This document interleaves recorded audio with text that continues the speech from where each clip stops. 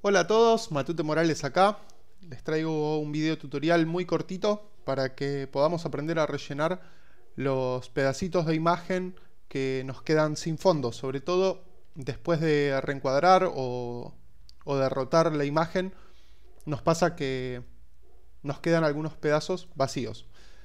Simplemente vamos a hacer una capa nueva, para esto o lo hacemos con el icono de capa nueva o tocando Control Alt Shift N. Y en esta capa nueva lo que vamos a hacer, tenemos varias opciones. Una opción para las zonas más grandes puede ser usar directamente la herramienta parche. Vamos a primero envolver la zona que queremos rellenar y luego vamos a arrastrarla hasta las zonas de donde queremos tomar la muestra. Esto podemos hacerlo en distintas oportunidades. Si es que nos quedó algún pedacito o no llegamos a agarrar todo, no pasa nada. Volvemos a repasar lo que nos quedó y listo. Luego de hacer esto, simplemente con hacer un clic suelto en algún lado, vamos a deseleccionar lo que nos quedó o tocando Control o Command D, vamos a poder deseleccionar lo que tengamos.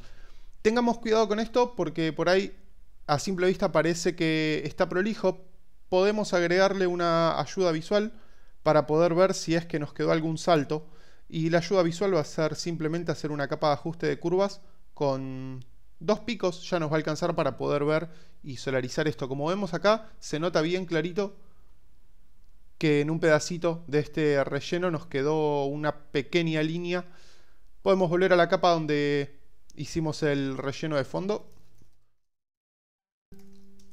Y simplemente con seleccionar, por ejemplo, la herramienta del pincel corrector, vamos a tomar una muestra.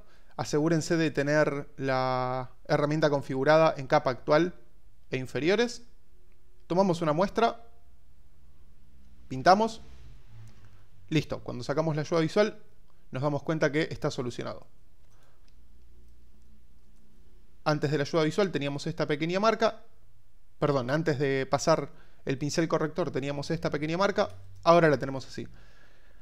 Muy simple, muy rápido, eso es todo. Si quieren después podemos ver cómo hacemos este mismo procedimiento en fondos que tienen más textura que este, que era prácticamente liso, sobre todo por el desenfoque y la profundidad de campo.